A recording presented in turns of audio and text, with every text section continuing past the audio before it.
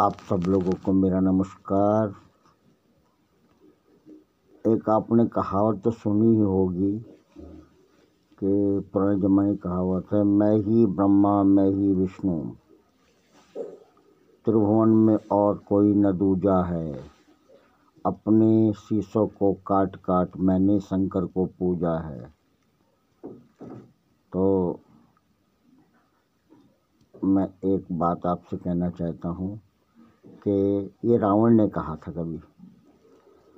तो रावण तो बहुत बड़ा शख्स था, बहुत बढ़िया